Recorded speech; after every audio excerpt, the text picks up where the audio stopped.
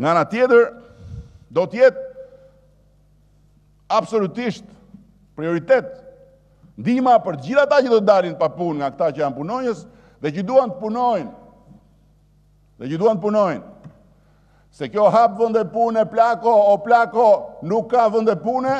është një moto online e atyre që rrinë në kafe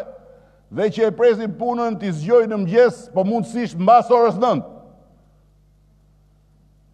Nuk jetohet me 240.000 lek plako, e di vëllai, po 240.000 lekëshi është paga